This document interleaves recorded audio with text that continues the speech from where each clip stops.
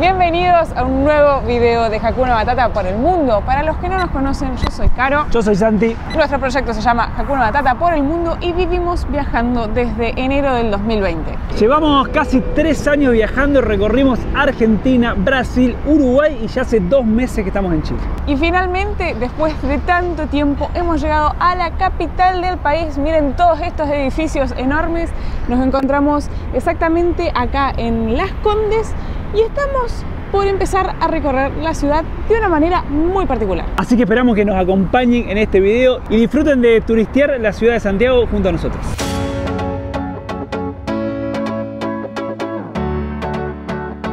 Como ya saben, para los que nos vienen acompañando hace rato, las ciudades grandes para nosotros son muy difíciles porque es mucho tránsito, moverse en motorhome es difícil y además no solo eso, sino que es poder dejarlo en un lugar que sea seguro. Después de dar un montón de vueltas acá en la zona, eh, que no entrábamos en ningún estacionamiento por la altura, porque el motorhome mide aproximadamente 3 metros y la altura máxima de los estacionamientos es de 2, logramos dar con un estacionamiento abierto acá cerca de un edificio y gratis, así que dejamos el motorhome ahí y nos vamos a recorrer la ciudad de la mano de Touristic. Estamos acá justo en la primera parada. Esto es una opción ideal para quienes quieran recorrer la ciudad como nosotros, rápida, sin estar pensando en el transporte y demás. Nos vamos a subir un colectivo donde nos podemos subir y bajar cuantas veces querramos en el día a lo largo de las distintas paradas que tiene el recorrido del bus.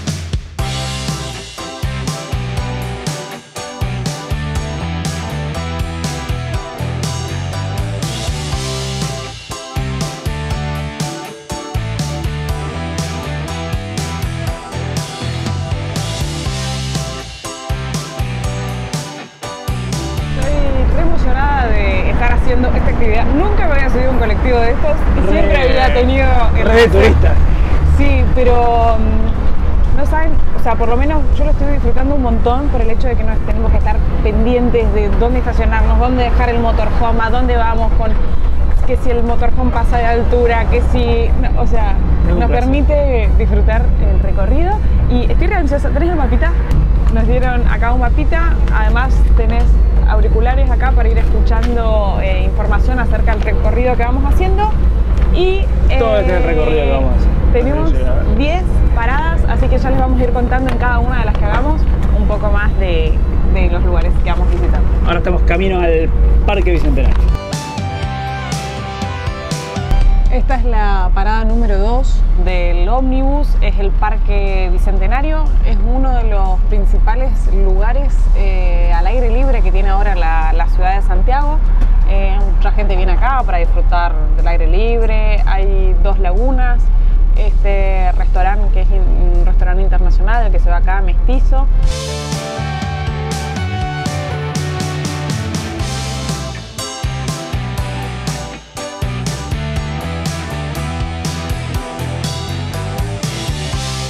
Así que es una linda opción para venir a disfrutar del aire libre. La verdad es que se ve muy lindo, pero bueno, en esta ocasión nosotros vamos a seguir hacia las siguientes paradas para conocer un poco más del casco histórico de la ciudad de Santiago.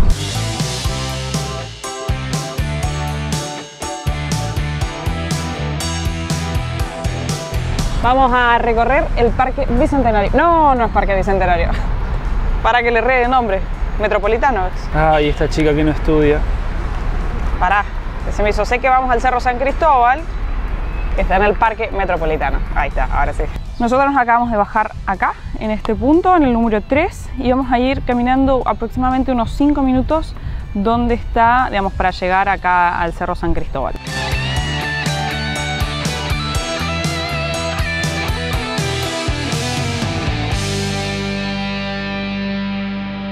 Ya estamos en el Parque Metropolitano, hay varios cerros, el más importante o el más conocido o el más famoso es el Cerro San Cristóbal, eh, que hay un santuario de la Inmaculada Concepción y queda a 880 metros sobre el nivel del mar. Si bien nosotros ahora entramos caminando, vimos que hay un acceso eh, tanto para ciclistas y para vehículos, así que se puede recorrer también en vehículo. Y ahora vamos a subir al teleférico que nos va a llevar hasta el Cerro San Cristóbal. Acá, para que sepan, para que tengan una idea de los precios, si uno quiere, hay tres paradas. Estación Oasis, que es donde vamos a subir nosotros ahora, la cumbre, y en el medio hay una que se llama Tupahue.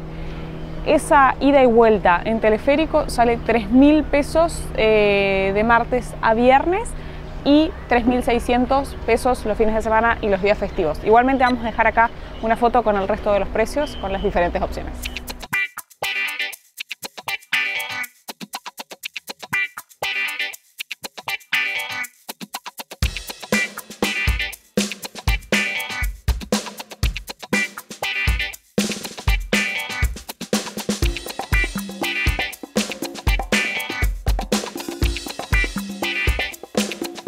Acabamos de bajar del teleférico en la estación intermedia y nos hemos traído agua. Recuerden que a los que quieran nuestros productos, como las botellitas térmicas, entre otros, pueden visitar nuestra página web.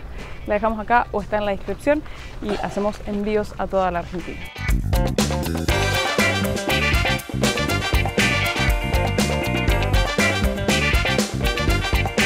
Hicimos una parada en el Torreón Victoria y se ve el Sky Costanera Center. Una linda vista de la ciudad, pero mm, no estoy encontrando información para contarles de acá porque no hay señal y no hay cartel, así que seguimos caminando por acá. Justo en esta estación hay una, una piscina que se llama Tupahue, en estos momentos se encuentra cerrado. Ahora pude encontrar información acerca del Torreón Victoria, que es lo que se encuentra a mis espaldas. Fue construido en el año 1925. En el año 1929 se usaba como observatorio astronómico que brindaba información del clima eh, y que esa información salía en varios diarios. Después, en el año 1940, fue utilizado como un bar lácteo de distracción y esparcimiento sin venta de alcohol. Dice, en los años 1950 pasó a ser una fuente de soda y un puesto de ventas de artesanías pero lamentablemente en el año 19, los terremotos del año 1985 y 2010 destruyeron eh, el edificio, así que fue reconstruido en el año 2012 como un centro de eventos.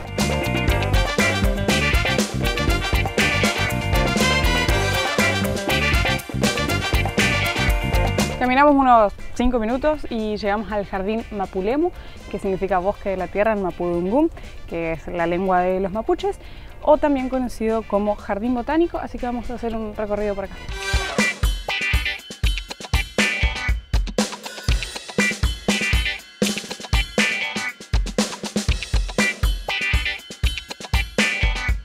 Lo llamativo del parque es que está dividido como en tres zonas, la norte, la central y la sur, y en cada una de las zonas hay flora eh, típica de cada una de las regiones.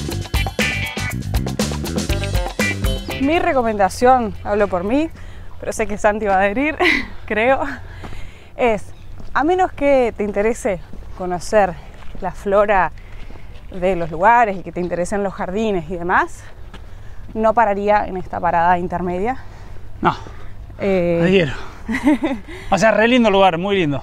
Eh, hay mucha gente también ahí sentada, disfrutando al aire libre, pero no sé, yo en este caso prefiero seguir conociendo otros lugares y qué sé yo, porque nosotros, se nota que estamos subiendo, ¿no? Porque nosotros no somos muy conocedores, entendedores del tema de... de Florístico. exactamente. Así que volvemos a tomar el teleférico para seguir hacia la siguiente parada. Algo que me sorprendió, no sé si ahí se alcanza a ver que hay una persona y la cruzamos recién también a otra persona en el jardín botánico eh, de seguridad privada. Así que me llamó la atención. Cruzamos un montón. Sí. Así que pareciera ser una zona súper segura.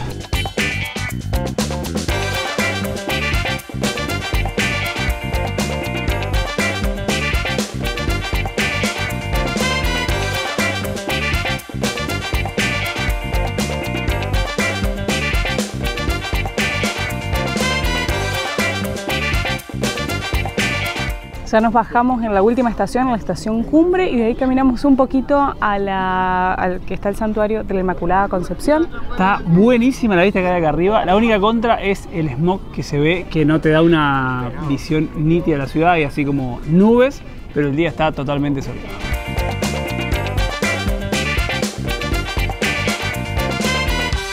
Nosotros llegamos en teleférico a la estación Cumbre, después fuimos ahí que está el santuario y además acá, para quien desee, puede tomar el funicular, ¿sí? que queda para aquel lado. Eso tiene un costo extra, em, si averiguamos el precio lo vamos a poner acá.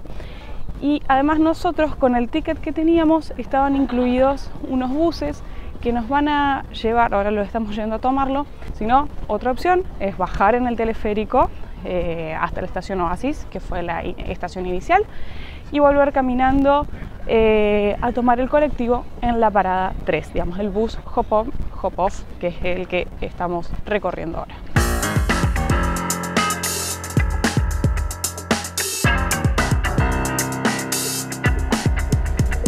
Hola.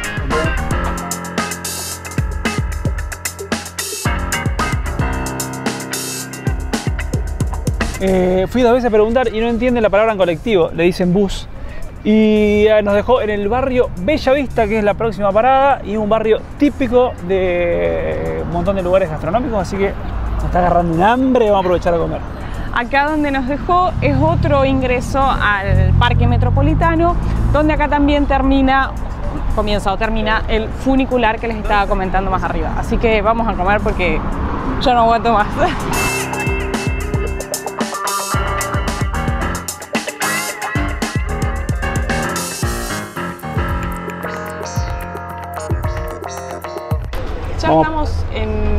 bar La Nona, fue el que más nos llamó la atención y vamos a probar el pisco sour en un local como todos ustedes nos recomendaron.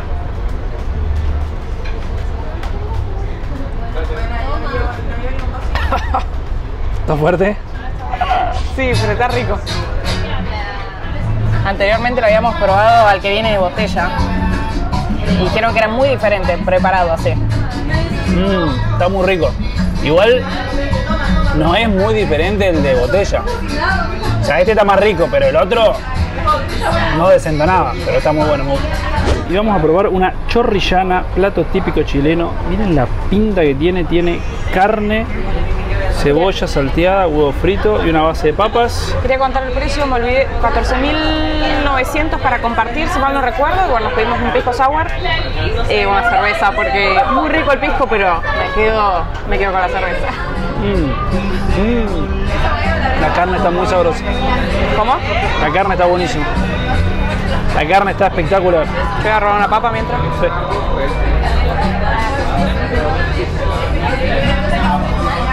Mm. Me encantó.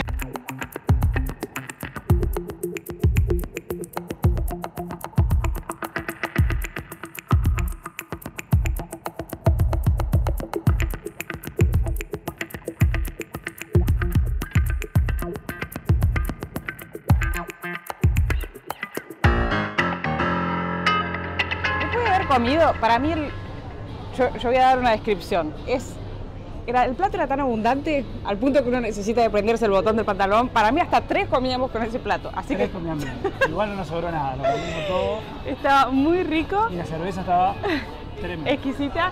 Caminamos, nada, unos mm, 50 metros y llegamos al patio Bellavista, que es donde estamos recorriendo ahora. Hay un montón de lugares para comer. Eh, y decía, por lo que estuve leyendo, que era un lugar con muchas... Hay muchas exposiciones de arte, de música, hay tiendas de, con artesanías y demás. Así que se ve un lugar súper, súper pintoresco para, para venir a recorrer. Muy recomendable.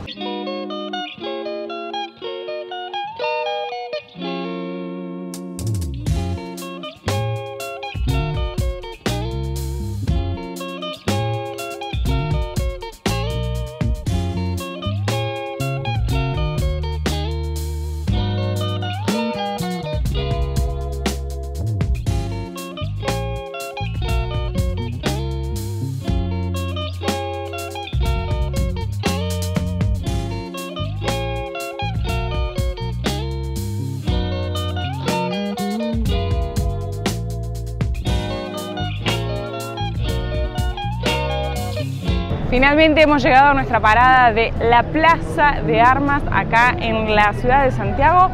La cantidad de gente que hay es inexplicable. Yo no sé si se debe a que ya mañana, eh, que es viernes 16, comienzan los festejos por las fiestas patrias acá en Chile, que ya les voy a estar contando un poco más, o si esto es normal y habitual, pero está mm, súper lleno de gente. En uno de los laterales tenemos ahí el Museo Histórico Nacional, y acá tenemos la Catedral Metropolitana de Santiago. Fíjense la cantidad de gente que hay acá, impresionante.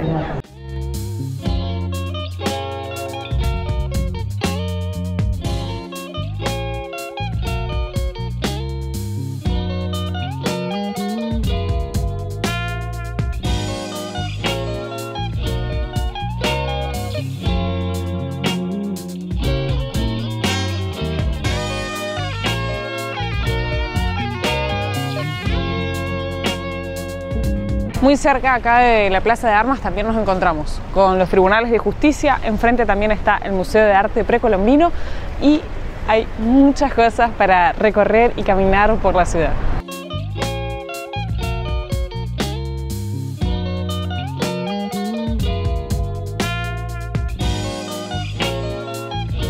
Y finalmente llegamos a la Plaza de la Constitución que está frente al Palacio de la Moneda, que es conocido también como la residencia del presidente de la República de Chile.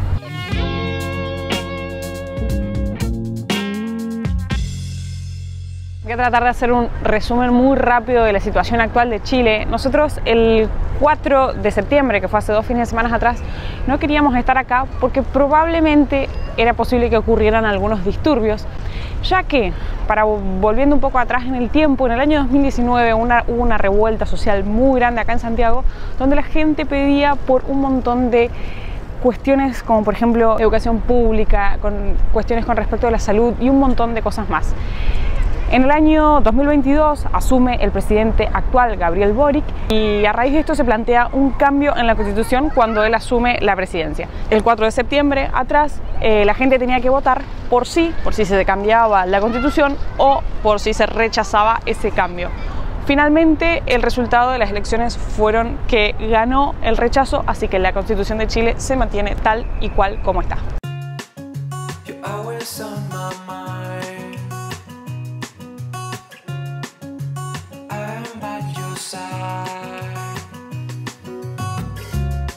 Y por último, como les contaba recién, eh, ahora ya están por comenzar las fiestas patrias acá en Chile. Para hacer un muy breve eh, repaso rápido de la historia de Chile, Chile pertenecía a lo que era el Virreinato del Perú y el 18 de septiembre de 1810 se forma el primer gobierno patrio. Es por eso que todos los 18 de septiembre se celebran las fiestas patrias acá. Y es un evento súper importante que esperamos vivir próximamente y estar compartiéndolo con ustedes en los próximos videos porque celebran un montón de tradiciones. Pero no fue hasta el año 1818, el 12 de febrero de 1818, que Chile se, realmente se independiza de los españoles. Ya venía O'Higgins en la lucha por la independencia. En el año 1816 cruzan a lo que era Argentina se juntan fuerzas con el ejército de los Andes, cruzan en el año 1817 y en el año 1818, después de la batalla de Chacabuco y la batalla de Maipú, oficialmente Chile es declarado una nación independiente.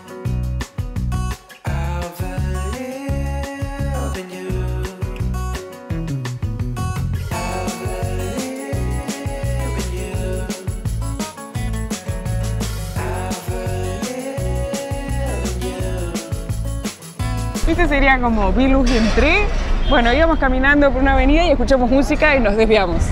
y efectivamente ya arrancaron un montón de festejos y conseguimos un folleto que me encantó, que marca de toda la región metropolitana, que es donde estamos ahora, a ver, voy a girar la pantalla, marca de toda la región metropolitana todas las fiestas que hay en esta época. Justo donde vimos esto había una carpa donde había gente bailando, era de Renca, eh, desconozco el nombre de la danza que estaban bailando, pero muy linda la danza folclórica, así que veremos dónde vamos a pasar las fiestas chilenas.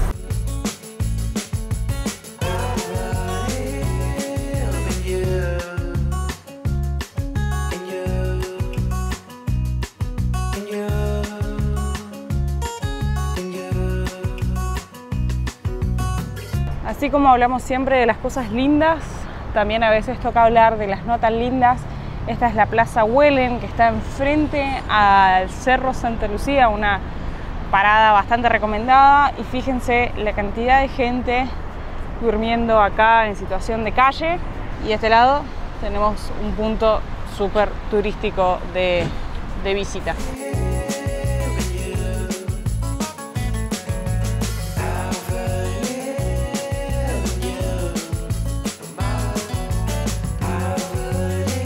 Lo que sí les aseguro que estamos bajando toda la comida de hoy con la cantidad de escaleras y caminata que hemos metido. finalmente llegamos a la cima del Castillo Hidalgo que fue construido en el año 1816 con el objetivo de defender la ciudad de Santiago.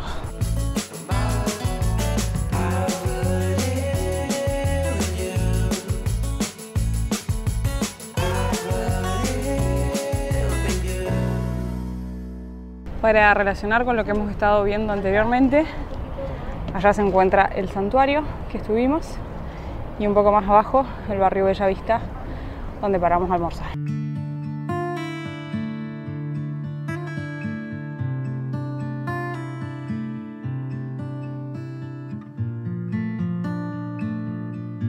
Sin embargo, la importancia que tiene el Cerro Santa Lucía es que desde antes era utilizado como mirador y cuando llegan los españoles, llega Pedro de Valdivia el 12 de febrero de 1541, funda la ciudad de Santiago a los pies del Cerro Santa Lucía y eh, de hecho lo renombra con ese nombre de Santa Lucía.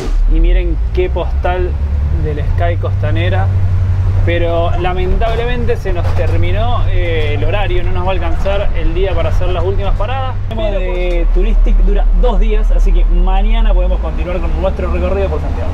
Porque nos quedó esta parada y una más, y ahora nosotros vamos con destino a Parque Arauco, que es donde nos quedó nuestra casita, así que allá vamos a reencontrarnos.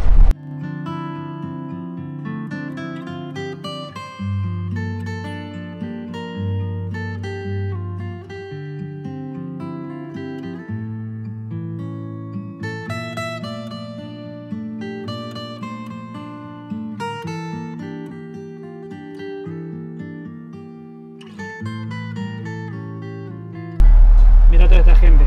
Crees que está una Matata acá, y, pero no, está Dua Lipa. Qué pavo que sos. creo yo que estoy... Y estuvo hasta hace poquito en Argentina. yo supongo que debe ser Dua Lipa la que está acá, porque lo escuchamos en, la última, eh, cuando estábamos en el Cerro Santa Lucía, una chica le dijo al su novio, pololo, amigo, no sé, le dijo, vamos a ver a Dua Lipa al hotel, que ya está en el hotel, y casualmente nos encontramos con toda esta gente, así que 6 y media de la tarde, ya estamos de nuevo acá en Parque Arauco. Eh, los horarios de Turistic, el bus funciona desde las 10 hasta las 18.30 horas, así que bueno, por eso les decíamos que el resto de las cosas nos van a quedar para mañana. Y me vine, Santi se fue a ver que estaba todo ok con la camioneta y yo voy a entrar al shopping porque dicen que este es uno de los shoppings más importantes de Chile, así que vamos a entrar a conocer Parque Arauco. Bueno, después de un día hermoso, estamos hace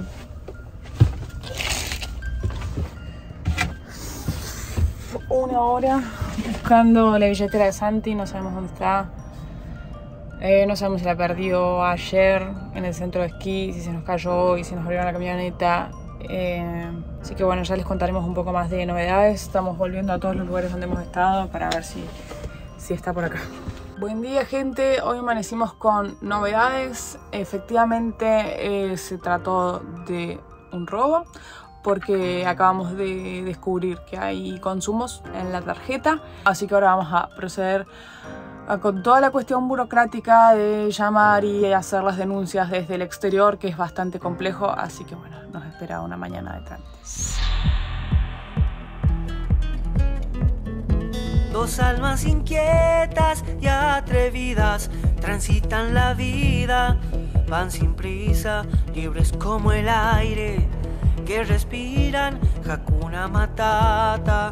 Día a día, dos seres sencillos, Caro y Santi, actores de un cuento